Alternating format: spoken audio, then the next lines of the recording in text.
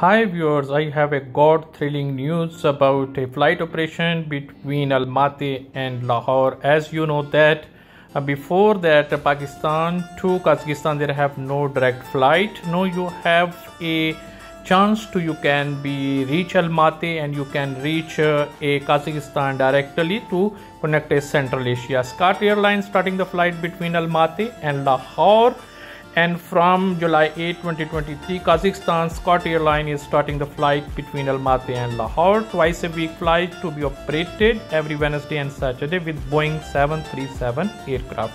I think it is a thrilling news for the traveler as well as for the business community. And the first time Lahore and Almaty is uh, shortest with time they have connected the twin city and his, both are the historical city. That's why SCAT, uh, SCAT Airlines have starting the flight. This is the team of SCAT Airline in Lahore.